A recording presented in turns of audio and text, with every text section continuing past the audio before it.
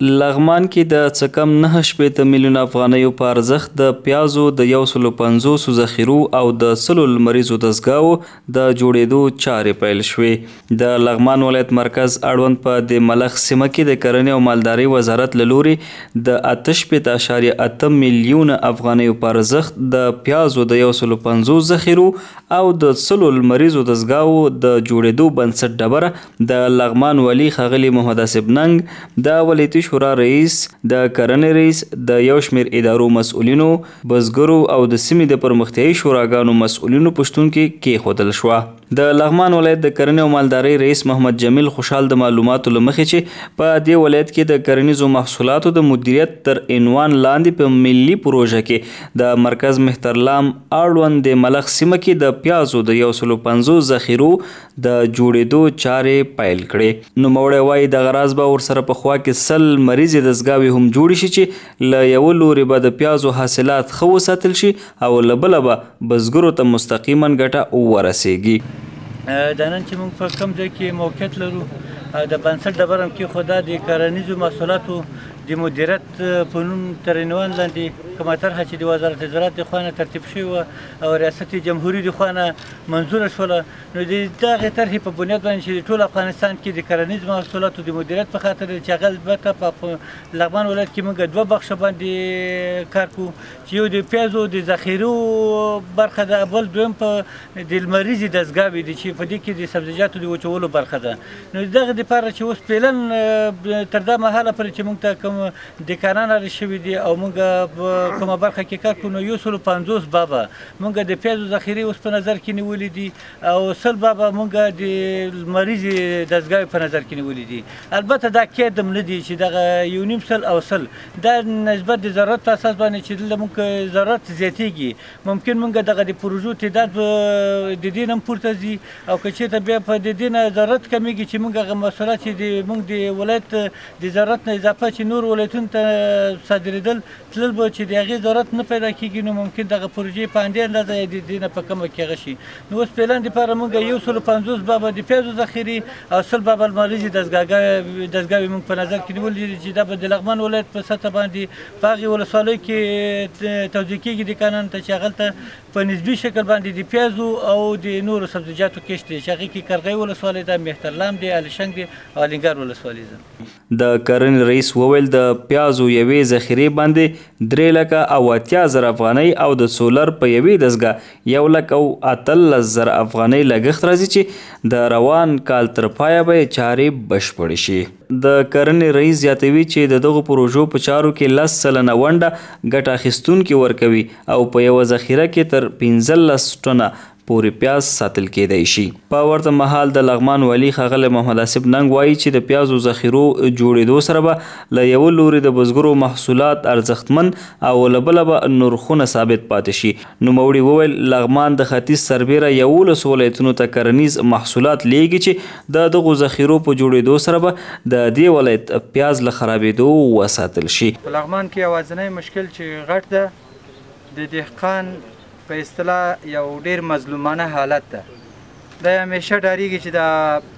د ده محصولات له مینځه ځي، نو بیا یې دی ارزانه قیمت باندې ورکوي. یعنې داسې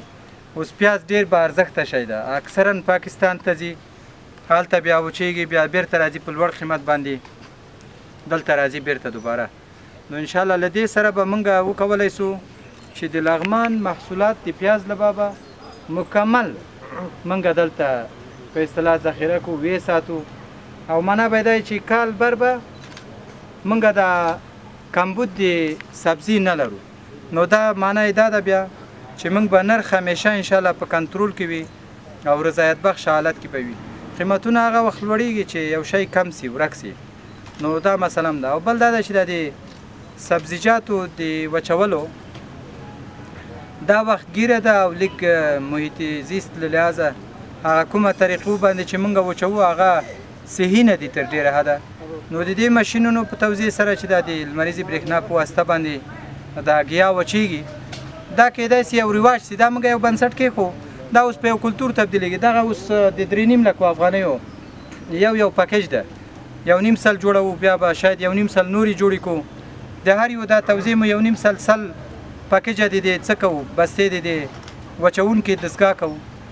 بیا دا کېدای شي سل نورې اضافه کړو دوه سوه نورې اضافه کړو نو دا به موږ ته یو آغاز وي بیا موږ نور اتي مارکیټ ته دا شی سپارو چې په هره ساحه کې هر سړی وکولی شي ترېنه استفاده وکړي انشاءالله دا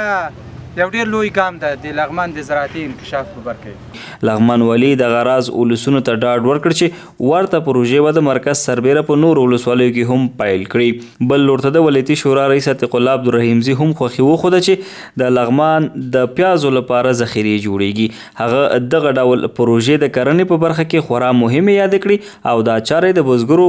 د لاسنیوي لپاره مهم ګام وباله. نن موږ او تاسې چې کومه پروژه دلته افتتاح کړله او عملاً یې موږ او تاسې وینو، انشاءالله موږ امیدواره یو چې د دیکانانو، په ژوند کې به تغیر راځي ځکه چې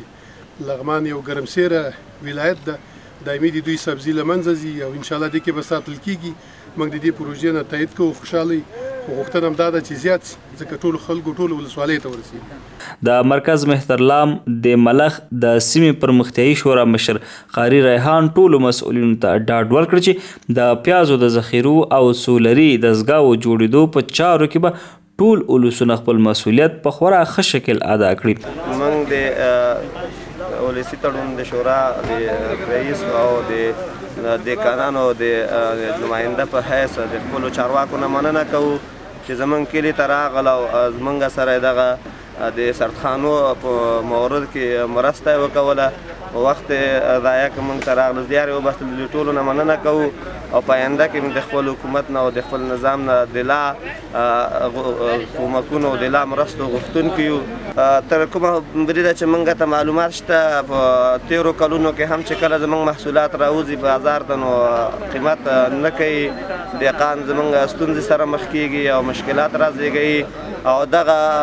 سرتخونه چې موږ ته جوړیږي دا د مارکیټ په پرتله چې د موادو د قیمت د کیفیت موضوع کې موږ سره ډیر همکاري کولای شي چونکه کچیرته بازار خراب نو دیقان کولای شي دلته د خپل